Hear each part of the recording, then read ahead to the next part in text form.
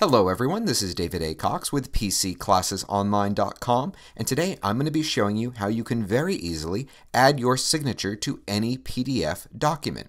Now in order to do this you do need to be running a relatively recent version of the Mac operating system. Specifically, you have to be on version 10.7 or later. If you're not familiar with which one you have, just go to the Apple icon at the top left of your screen.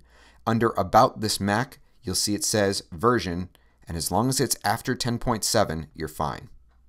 Now to do this, we are only going to be using software that comes pre-installed on the Mac. Before I show you, I need to make a special note if you happen to have Adobe Acrobat Reader on your computer, you do need to bypass it in adding a signature. To do that, simply secondary click on your document, also known as a right click, go to Open With, and make sure that you open it with Preview. If you don't have that software, don't worry about it. Just double click on it like you normally would. So here you can see my document, and if I scroll to the very bottom, there's a place here for a signature. To add it, all you need to do is get out a blank piece of paper and sign your name. I'm going to be signing a fake name just because I don't want this to possibly come back to haunt me later on. Go to the very top of your screen and you'll see that you have this one little icon here on the right. It actually looks very similar to one just two over. But this one over here is called the Show Edit Toolbar. Click on it. And down here on the right hand side of the items you see here, there's this one here that says SIG.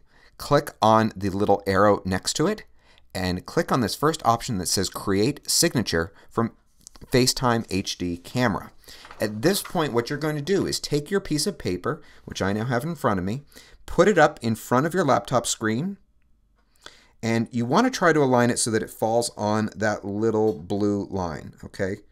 So I'm going to try to do that as good as I can. And click accept when you're happy with it. And now that signature is saved in your computer. So anytime you need to add a signature, all you need to do is open your document, go here to the same icon, but now that you've saved it, when you click here on that little arrow, it's right there. So from there, just put your cursor where you want the signature to appear and click.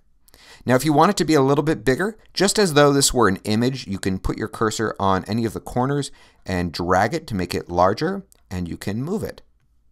So now that you've done that, simply save the document and you're good to go. I hope you enjoyed this video. If you happen to be watching us on YouTube, of course, we do appreciate it. If you click that little like button, we do get paid to create these videos. And if you stumbled onto us on YouTube, check out our website. We are a completely free service, pcclassesonline.com. This is David A. Cox, and thanks for watching.